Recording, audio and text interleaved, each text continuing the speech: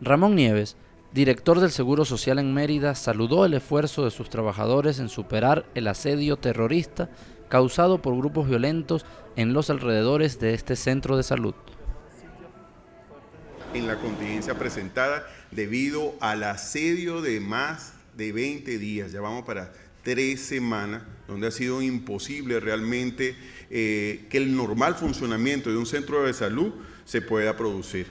Felicito y le doy mi mayor empuje, fuerza realmente a que los trabajadores que estén allí se hayan mantenido y hayan hecho la resistencia que bien han hecho, que han podido pasar los cercos, los diferentes cercos que hay para entrar a, nuestro querido hospital. Otra cuestión importante es que se está manteniendo 11 servicios funcionando gracias a este esfuerzo que han hecho los trabajadores.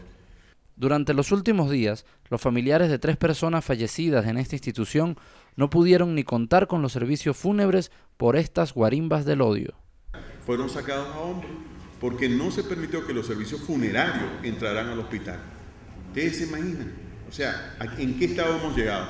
¿Qué situación es esta en respetar la muerte, la dignidad que nosotros los seres humanos le damos a nuestros muertos? Yo sí creo que la violación al, derecho humano de, la atención, del acceso a la salud, está presente y es gravísima. Nosotros estamos en un evidente secuestro, secuestro de la dignidad humana, secuestro de la salud, secuestro de nuestra relación con nuestros familiares y, la necesidad que tenemos de atenderlos y sobre todo el secuestro de la vida.